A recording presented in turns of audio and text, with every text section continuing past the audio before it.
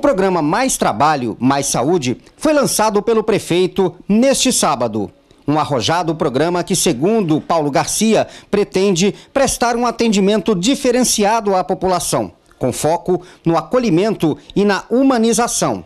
De acordo com o prefeito, o programa pretende elevar para 90 mil consultas por mês na atenção básica, oferecer bônus de desempenho para os profissionais da saúde, credenciar a rede privada para atender a demanda que não for possível ser atendida na rede pública, construção de novas unidades de saúde e contratação de mais médicos. Alguns dos projetos como obras que ainda não estão concluídas a partir do momento da sua conclusão. A compra de consultas nós pretendemos dar início imediatamente.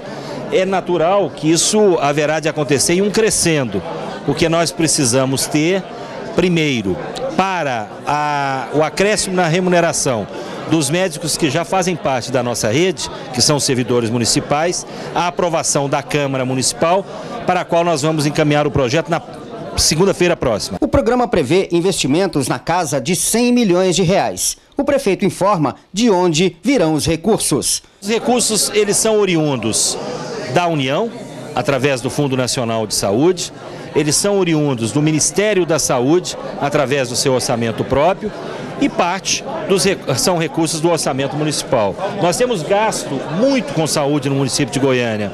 Aqueles que estiveram na Câmara Municipal há dois dias viram que no primeiro quadrimestre nós investimos mais de 28% em saúde na cidade de Goiânia. O preceito constitucional é 15% para os municípios.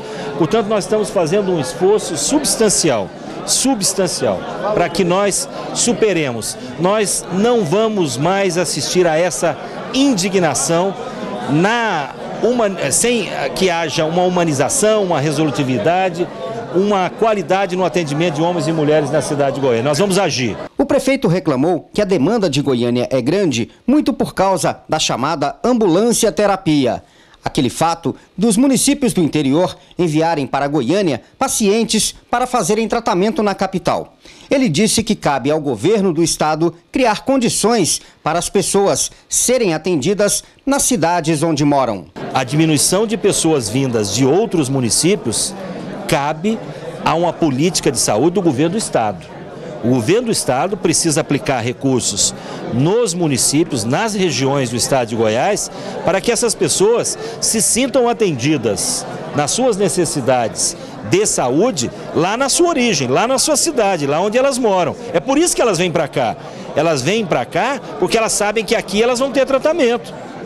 A, a, o Sistema Único de Saúde, tão criticado, ele é cêntrico, ele é atrativo para essas pessoas que não têm nada nessa, na, nos outros municípios. O programa prevê ainda a transformação do Cais de Campinas em Hospital de Urgência de Campinas e a construção do Hospital da Mulher e Criança na região oeste de Goiânia.